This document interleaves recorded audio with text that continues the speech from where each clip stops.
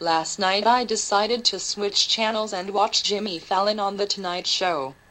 I must admit, I was disappointed at what I saw.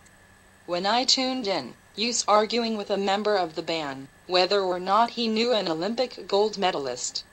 It was rather deadpan, and they could not stop reading of the teleprompter. After the first sentence, I already knew that she was there, and was not surprised when she walked down. He then proceeded with a gay commentary, which just seems to be an NBC agenda. They tried to sell to you how the gay lifestyle is acceptable, and the joke made fun of an Olympic event. I just couldn't stomach it anymore, and changed channels.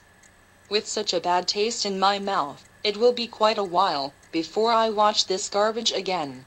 Even when I watch clips on the internet of his interviews, there's a tension and nervousness that does not make it entertaining. If Jay Leno decides to go back on the air, he will absolutely destroy all the competition.